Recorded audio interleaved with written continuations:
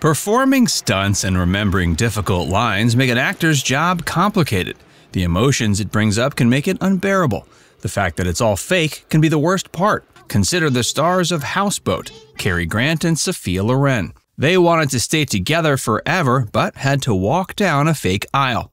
Legal issues and scandals kept them from being able to let art mirror life. Keep watching to learn about the hardest scene Cary Grant ever had to film.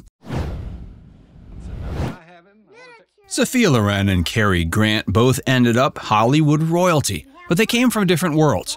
One came from actual European nobility, and the other was a simple boy from a small town in England. Sophia's early life. Sophia Villani Scicolone was born in Rome, Italy, September 20th, 1934. She had connections to nobility on her father's side. He abandoned the family when she was a baby, and she only saw him three times in her life. She also saw the impact of WW2 on her country, and she lived in poverty. She began acting in the early 1950s after enrolling in the National Film School of Italy. She got her first role as an uncredited extra when she was 16 and then had a few bit parts. Her breakout role was The Gold of Naples in 1954. She became an international star in 1958 after signing a five picture contract with Paramount Pictures. Cary's early life. Archibald Leach was born in Bristol, England, January 18, 1904.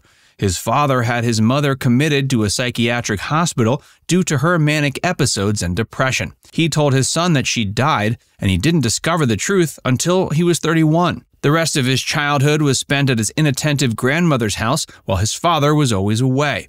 His sanctuary was the movie theater, and that's where he fell in love with acting. Archibald joined the Pender Troupe comedians and acrobats when he was 14.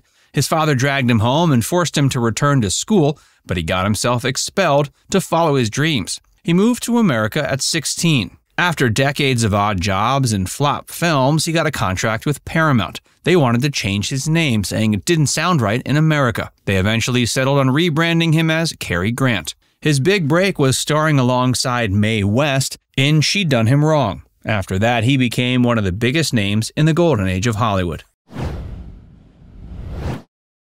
When Sophia met Carlo, Sophia Loren was an Italian gem who worked alongside handsome leading men like Marlon Brando and Richard Burton. She was also introduced to plenty of important behind the scenes personas.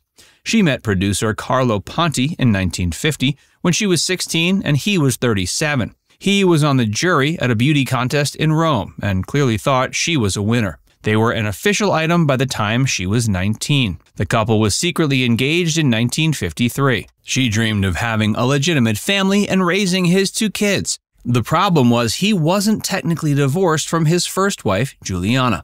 Italian Catholic society in the 1950s didn't permit divorce. It may have been that technicality that left room open for an affair. When Sophia met Cary, Sophia Loren and Cary Grant met at a cocktail party in Madrid in 1956. He looked as though he'd, quote, just stepped down from the screen and was a dream come true. He was 30 years older than her, but she also found his slightly graying hair attractive.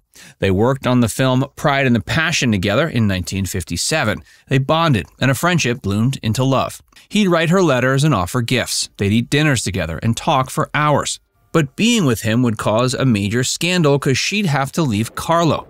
She also wanted to avoid what the press did to Ingrid Bergman during her affair.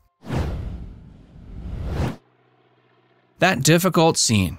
Cary Grant had to film a few difficult scenes in his career, and one of the most famous was the one where he had to duck under an incoming plane in North by Northwest. But his most difficult scene was challenging on an emotional level. Cary's affair with Sophia caused a major shift in the casting of the 1958 film The Houseboat.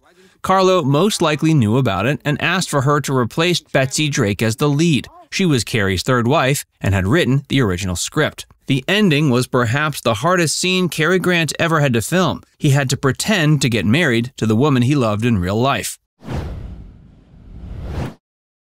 A proposal? There were plenty of rumors that Cary did propose to Sophia on the set of The Pride and the Passion.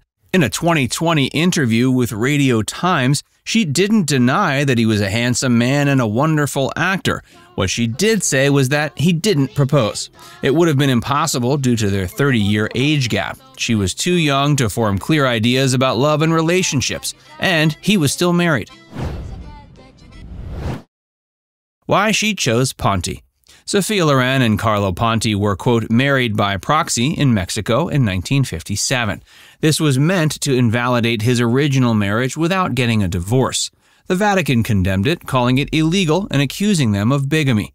They had to defend themselves for almost a decade until they were exiled and lived in France and Switzerland. He finally got a legal divorce in 1965, making their marriage official. When she left the set of Houseboat, she boasted to Carlo about the yellow roses Cary had given her. She believes it was a way to test their relationship. If Carlo didn't get jealous, he didn't care. He did and hit her slightly, but it made her feel as if she'd made the right choice. Despite early struggles with fertility, Sophia had two sons, Carlo Jr. in 1968 and Edoardo in 1973, as well as four grandchildren. The couple stayed married until he died in 2007. Cary wished her the best when he heard the news. Sophia explained why she chose Carlo over him in a 2014 interview with the Sydney Morning Herald. To her, quote, he belonged to another world in America that she would never be able to fit into because of her nationality. She even needed his help with English in her early films. Cary's love life. Cary Grant always seemed to know what to say or do to charm women. The persona of James Bond was modeled after him. What he didn't seem to know was how to keep them, whether they were a short term fling or passionate affair. It wasn't until the end of his life that he seemed to find a compatible partner. He married Virginia Cherrill in 1934. When he married Barbara Hutton in 42, they argued over money and had a contentious divorce.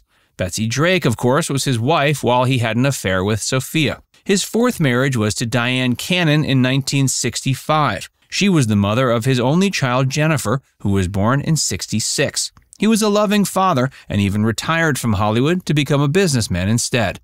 When he changed careers, he also changed as a husband. Diane detailed their relationship in a memoir titled Dear Cary. She notes an initial attraction, but said that he began to become angry, controlling, and physically withdrawn. They split up in 1986. Cary was married one more time to Barbara Harris.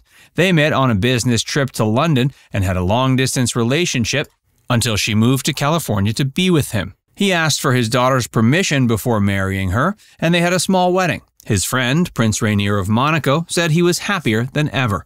They stayed together until his death. He once said each marriage was more difficult and that it was almost masochistic of him to keep getting married again. He also seemed to want to keep memories of them all, he had a necklace with a St. Christopher medallion to represent Virginia Cherrill, who was a Roman Catholic, a cross for Barbara Hutton and Betsy Drake, who were Protestant, and a Star of David for Dyan Cannon, who was Jewish. It even shows up in a few of his films. Their last years. One of the last times Sophia and Cary ever spoke was on the set of the Italian film Two Women. He called her and said he just wanted to say ciao.